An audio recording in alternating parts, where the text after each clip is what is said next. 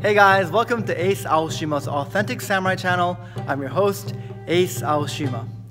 And today we'll be going over how to sheathe like a samurai. But we're not going over some any old method of sheathing.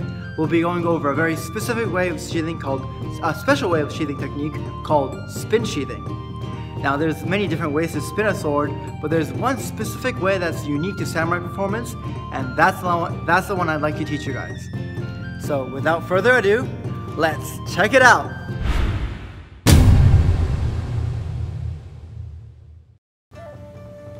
Okay, so let's begin with regular sheathing method first.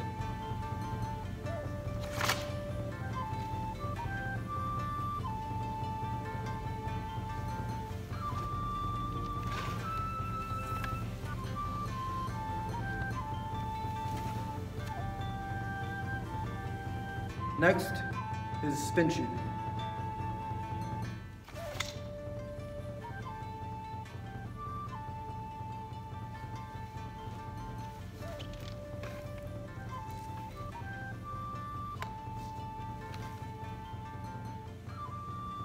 So, how do we do this?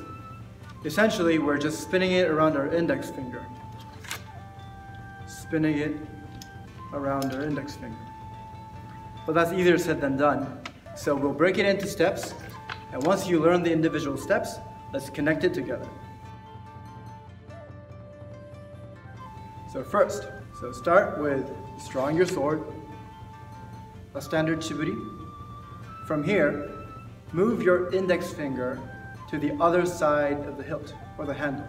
So your index finger on this side, right? Move it to the other side. If you can see now, I'm holding the sword in between my index finger and my middle finger like this. And make sure when you do this, it doesn't go the other way, like this. Blade should facing away from your finger. From here, you just spin it around your index finger. I, the idea is spinning it around your index finger, but that's hard to do just with your finger. So use your wrist. From here, use your wrist and make a half circle. After you make the half circle, open up your palm and let the blade drop towards the ground. I mean, ideally, this would be one fluid motion of spinning, but if I were to actually break it down, from here, use your wrist and just let it drop. Once you let it drop, bring your thumb to the other side of the handle. Thumb to the other side.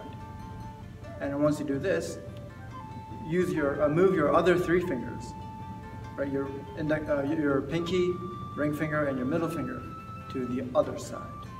So now you're sort of pinching the sword like this. Once you pinch the sword, bring the back of this blade to the sheath, and then slide it in. Again, draw, right? Get in your stance. First, shake off the blood. Bring your index finger to the other side of the sword, or the handle. Use your wrist to make a half circle. Open up the palm to drop it, drop the blade to the ground. Move your thumb, move your other three fingers, so you're pinching, and then bring the back of the blade to the sheath and slide it in.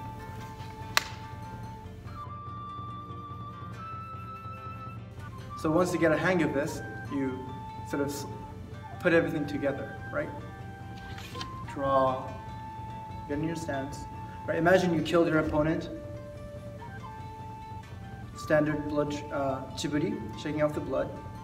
And then when you move your index finger to the other side, it's sort of difficult to do this. It helps if you bring your arm and sort of curve it in a little bit. Curve it in and move the finger, so it's easier and then use your, your wrist to make a half circle. At the same time, just sort of let it go, right? Instead of one, two, make that one fluid motion. And when you open up the palm, don't go all the way like this, but open it up like that. Does that make sense? Use the thrust of your wrist and then let the blade just make it turn itself but keep the palm thumb on this side. right? Before, the palm, this thumb was on this side, this side of the grip handle. But if you just use the thrust, let it fall, the thumb is already on this side, this side of the grip, which means I don't need to bring it over. That step is already canceled, right? Instead of one, two, three, is going to be one, two, and the three is already done. From here, bring the other three fingers and bring it, bring it back into your sheath. So the, the flowy, fluid version is Chiburi, turn and bring the index finger over. Use your wrist as the momentum and let it flop. Finger already here. And the three fingers.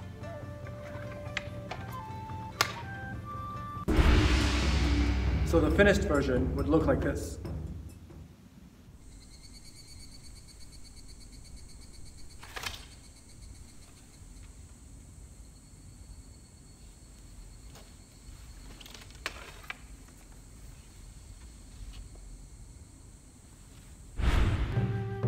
And there it is.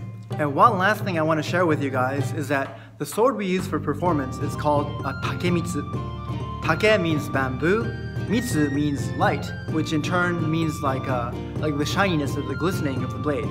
So the word takemitsu means a bamboo blade, which means a bamboo sword. I mean, unfortunately, we don't use bamboo and we use a wooden sword because bamboo take costs a little bit more to produce.